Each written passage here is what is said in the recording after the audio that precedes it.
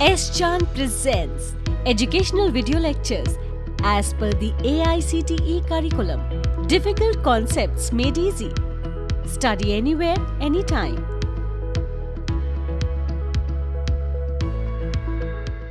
Welcome to S Chand Academy and I am Anmol Bhatia. This is the second part of the video. Uh, the topic of the video is non-conventional machining processes. In the first part of the video we have seen the introduction of the non-conventional machining processes and majorly the need of non-conventional machining processes.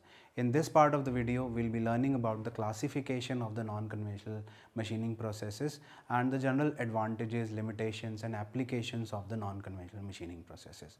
And yes, I will be answering the question which I asked in the initial part of the lecture in this part of the video. So, let us start the topic advanced manufacturing processes or the non-conventional manufacturing processes or the non-traditional manufacturing processes. This topic is a part of uh, the course which is manufacturing practices. So, let us start with the video.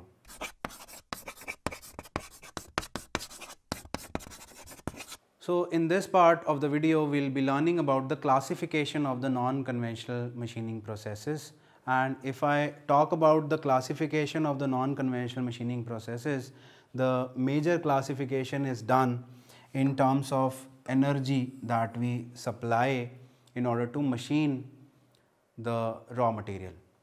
The first thing is the mechanical energy that we can supply, then the electrical energy which is electrochemical process, then the thermal energy which is thermoelectrical process and lastly we can have the chemical energy uh, in order to uh, machine the raw materials.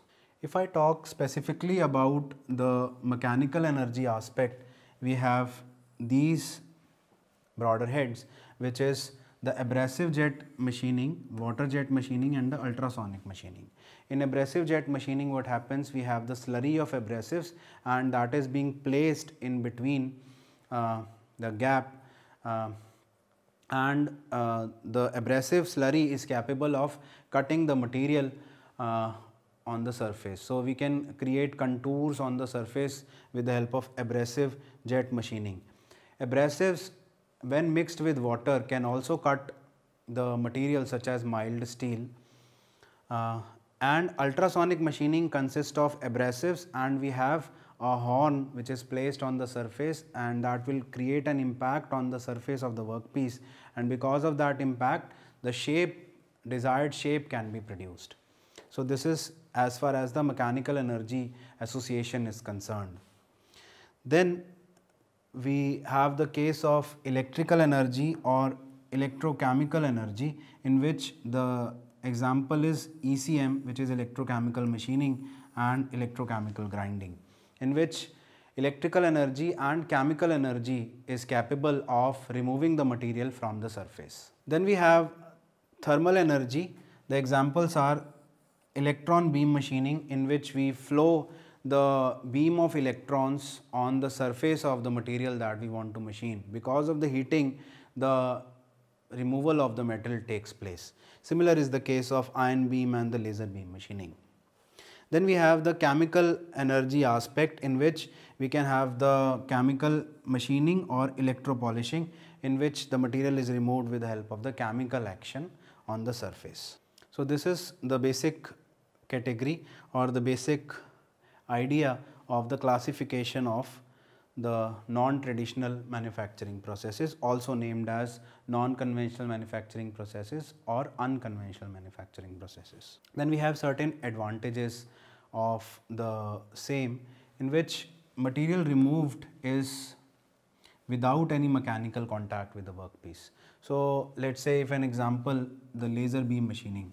So, laser beam machining has a laser which is pointed on the surface and uh, when the laser uh, creates uh, the melting of the surface of the workpiece, it removes the material from the workpiece surface.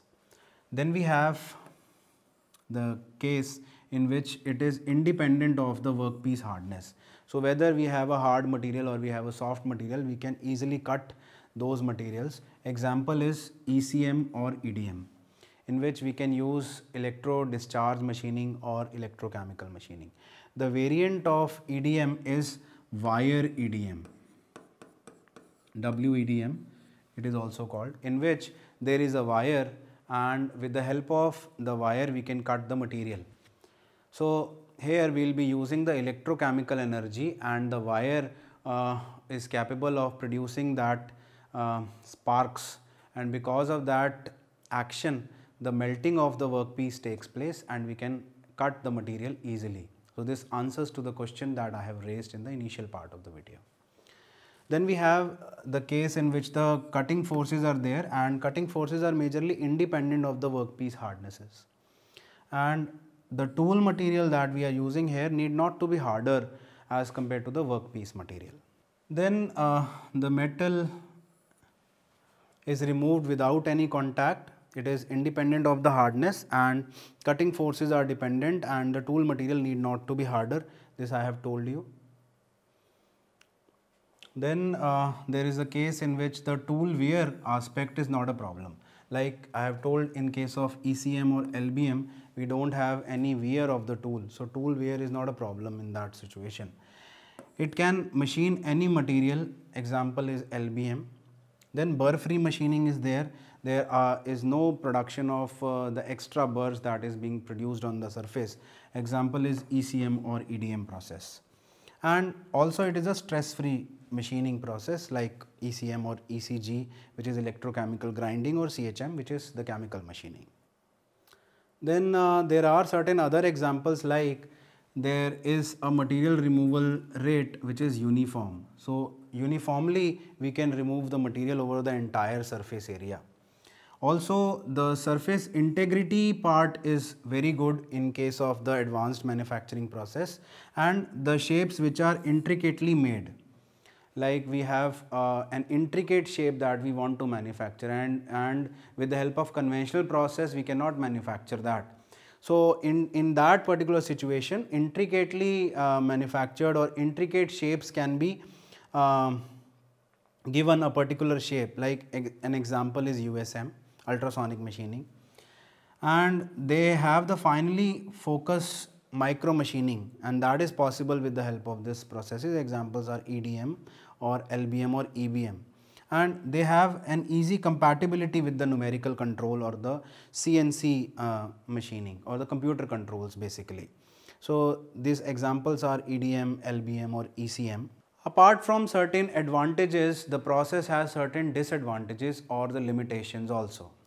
The first and foremost uh, limitation is for some of the situations, for some of the cases, the workpiece needs to be conductive. So, like I, I, have told you in case of EDM, electricity is involved. So, when electricity is involved, so electricity basically works on the material which are conductive. So, for conductive material, we can use these processes only. The depth of the hole is a limit or is a problem in case of the LBM. For example, if we want to drill a hole of let us say a larger depth. So, for the initial depth the hole can be made but when the laser reaches to the later part of the hole or that cylindrical region, so what happens the heat is uniformly distributed over the above part, but it is not uniformly distributed when it goes into the uh, later or the downstage situation. So, for that situation this depth of hole is a limit. So, we majorly use this LBM for uh, low thickness materials the heat affected zone is not desirable here in, in some of the cases like EDM or EBM. And uh, for these purposes, they are uh, compatible with the metallurgical states of the workpiece and those metallurgical states needs to be studied uh, before incorporating any advanced manufacturing processes. There are certain tapers on the side walls and because of these uh, limitations one has to work upon, but these limitations are those certain kinds of limitations that can be controlled with certain aspect of the quality. So, these quality can be maintained majorly these limitations can be controlled, but the process is highly advantageous. So with this we come to the end of the second part of the video in which we learnt about the classification of the non-traditional manufacturing processes. We learnt about the limitations, we learnt about the advantages of the process and also the applications of the non-conventional manufacturing processes. If you want to have the conceptual clarity in detail, you can refer to the book by S. Chand Publishing. The link of the book is there in the description box below. If you find the video interesting, like, share, subscribe the channel and hit the bell icon for future updates. Thank you.